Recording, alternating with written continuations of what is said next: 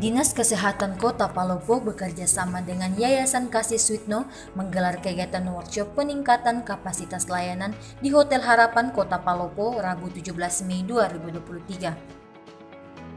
Yayasan Kasih Sweetno telah ditunjuk sebagai SR Kementerian Kesehatan untuk memberikan bantuan teknis monitoring dalam rangka akselerasi program HIV AIDS untuk periode 2022-2023.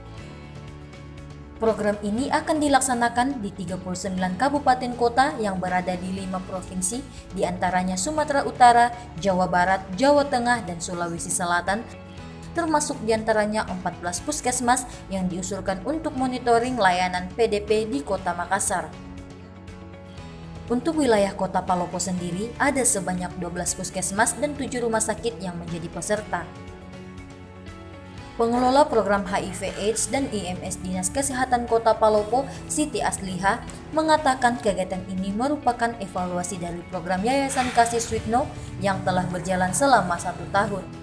Uh, ini uh, sebenarnya kan ini uh, kegiatan merupakan evaluasi dari uh, kegiatan dari Kasih Said yang sudah berjalan kurang lebih setahun. Kegiatan itu berlangsung dari tahun lalu.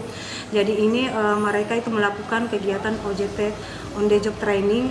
Jadi ini uh, merupakan evaluasi hasil kegiatannya mereka. Apakah uh, layanan yang sudah intervensi ada ada tidak uh, peningkatan uh, kapasitas untuk uh, kegiatan program uh, IFS di Kota Palopo selama mereka uh, yang berjalan. Sulfikri dan Nada Gabrilia mengabarkan untuk Koran Seruya Seruya TV.